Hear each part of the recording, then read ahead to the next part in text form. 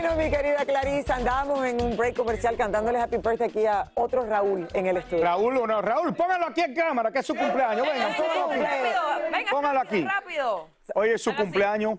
Míralo, mira. Muchas felicidades, felicidades. Felicidades. No, porque hay que poner al equipo cuando es su cumpleaños también. Estamos rodeados. de Clarisa, mañana tú sales para República Dominicana. Sí, ya me voy mañana. si Vas a estar en vivo desde allí todos los días para el gorro y la Por placa. supuesto que Pero sí. vas a estar haciendo tu tercera película, ¿no? Yay, listísima, preparando mi personaje, este, entrando en personaje. ¿Qué es lo más difícil de hacer este personaje? Creo que eh, no va a ser difícil poder transportarme a, a esos barrios de la República Dominicana. No es difícil, va a ser un reto definitivamente, pero va a ser muy divertido. Ay, ya muero por Sí, verla. es- ¿De cuál, es, ¿Cuál es el papel que vas a hacer, Clarisa? Es de Lía. eh, Somos un grupo de chicos de barrio que vamos a inspirar a muchos jóvenes que van a ver la película, que sí se puede hacer las cosas, lograr los sueños. Qué bueno. A través de fuerte trabajo, claro bueno, como sí. Canelo, Raúl, que vamos a decir de paletero.